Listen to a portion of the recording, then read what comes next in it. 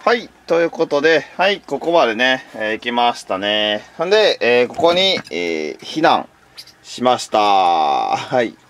ボロボットちゃんね。えーこの子はメスですね。まあ、また、まあ、その辺はね、詳しく紹介していきます。では、今からね、この板を掘りたいと思います。めっちゃ汚いでしょ。で、中にはもうね、えー下にも引いてる、糞とかうんこちゃんとかも掘っていきたいと思います。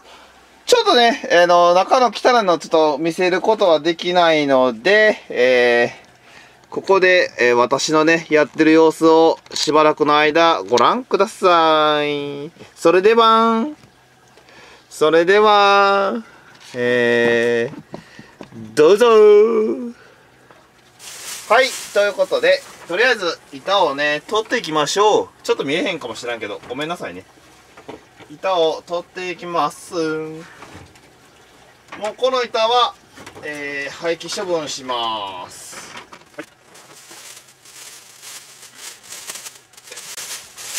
はい。皆様は何を、なんかでね、えー動物とか飼っておられますでしょうか？もしよければコメントください。よろしくお願いします。そして、これね、えー古い板は、えー処分です。もう汚くてね、もう困ってるんですよ。はい。では、処分して、えーこの中のやつを掘っていきたいと思います。はい。よいしょ。よいしょ。よいしょ。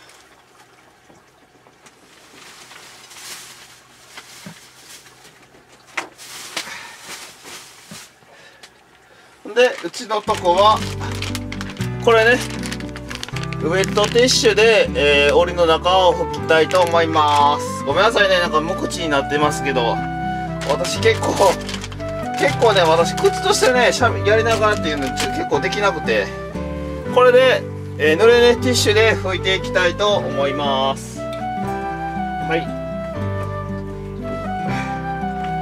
なかなかね、あの、うんこをね、隅っこでするので、結構お掃除が大変でございます。はい。まあ、こんな感じでね、どんどんきれいく拭いていきましょう。あとプラスね、また糞とかあるのは全部ね、私は、あれでしてますね。あの、ほうき、ミニほうきがあるんですけど、えーそれで、えー取ったりしてます。はい。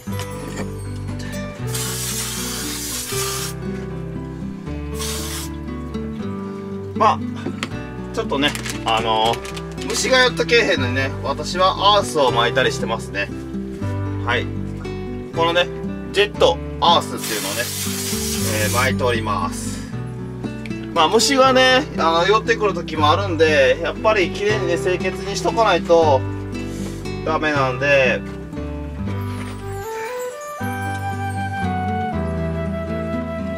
はい、あの、いつもせいアルコールのね、除菌シートっていうのでね、拭いております。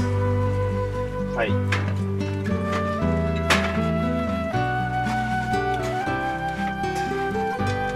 なかなかのね、うんこなんで、まあちょっとね、うんこのとこはお見せすることができないんですけども、でまあご了承いただけたらなと思います。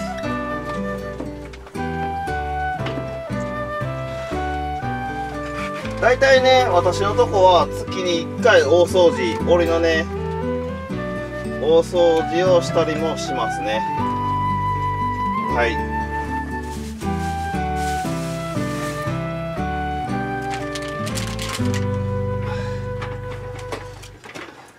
今日はもう板変える日なんで板をね変えて、えーまた元通りにしていきたいと思います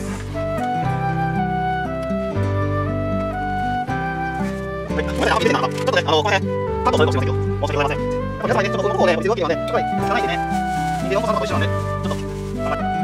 はいごめんなさいねあんま見えてへんななんかちょっとねあのー、この辺カットされるかもしれませんけど。申し訳ございません。やっぱ皆様にねちょっと糞のとこをねやっぱ見せるわけにはねやっぱりお汚いんでね。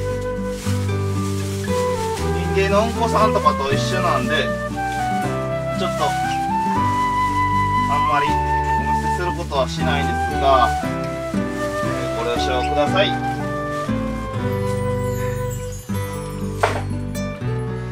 はい。ということで、えー、板もね全部どけれてできたので板を新しい板をね入れていきたいと思います。で、えー、もう一回再度ご紹介しますけど私のとこは掃除の時はこれ使ってますね。あのよくねあの何て言うんですかクリックルワイパーとか使うやつありますでしょ。それで拭いたりしてますね。はい。ではえー古い板とかも掘れたのでこの新しい板を引いていきたいと思います。ただこれを引く前にですね新聞とかを引かないとお子さんたちがえらいことになるんでこれを引いていきたいと思います。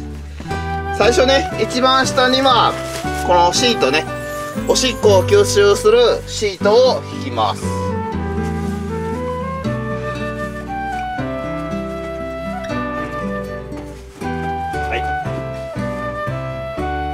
皆様はどんな感じで動物飼われてる方はお掃除されますか？もしよければね教えていただけたら嬉しいなと思います。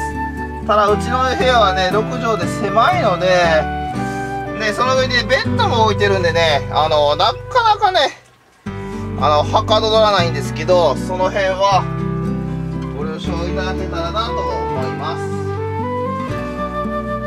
はいで次に新聞紙を、えー、何枚かこの上に重ねて引きます。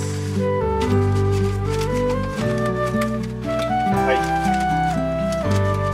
い。でまあ板ね。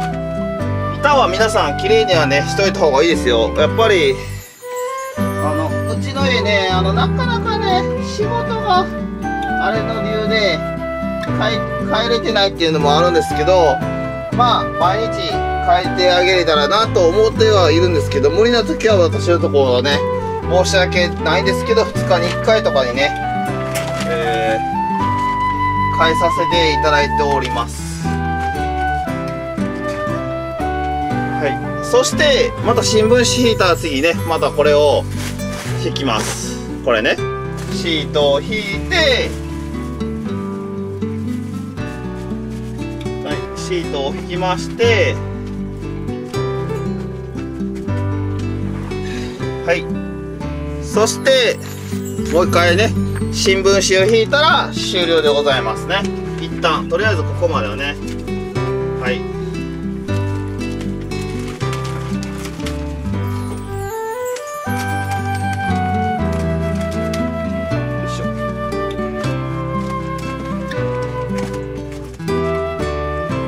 ということでここまで新聞紙が引けましたね。ちょっと待ってね。いいよ。はい。新聞紙引けました。で最後にこの板を乗せます。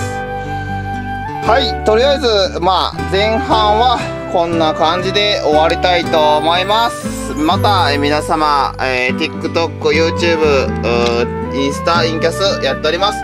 えー、皆様ね、命名チャンネルで統一していますので、ぜひチャンネル登録よろしくお願いいたします。